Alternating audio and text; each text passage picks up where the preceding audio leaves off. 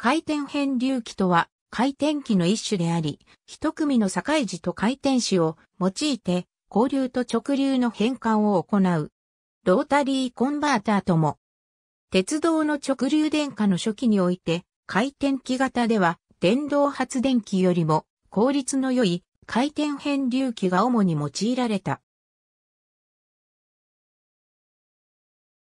回転変流機基本構造図4極48項。参照回転変流機構造図回転変流機械。天変流機では回転手と巻線が硬直両方で共用されており、直流側リードは覚醒粒子セグメントにつながれ、二組のブラシで直流負荷側につながれる直流電動機、発電機の構造で、この巻線から三等配で引き出した交流側リードはスリップリングを介して参照交流電源側に接続する電気子回転型動機電動機の構造で、巻線が硬直共通で電流が相殺され、負荷電流による電気子反作用が硬直量巻線で相殺されて、同数法の電動発電機方式よりも、はるかに大きな電力を扱えたことにより、電気鉄道用直流発生装置に多用された。